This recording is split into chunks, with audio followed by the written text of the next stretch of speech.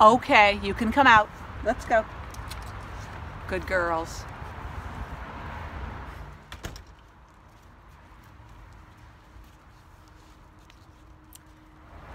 People have asked me, why is my dog always getting into things?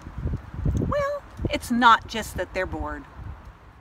Some trainers will tell you your dog just needs more exercise, but it's more than that. Today's dogs really still are pack animals. They want a leader. They want to know clearly what they should be doing with their time. They don't want to roam around aimlessly hoping you'll appear. Dogs instinctively want to migrate, to work for their food.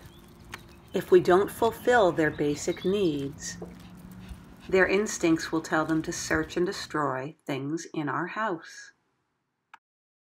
Clear and consistent communication will help your dog know right from wrong. Keep it simple and clear to your dog what is and isn't theirs to chew. If you just decide to provide the leadership and structure that your dog or dogs need, then you'll all be able to enjoy a much more fulfilling and wonderful life together. You gotta love the sunny days of spring.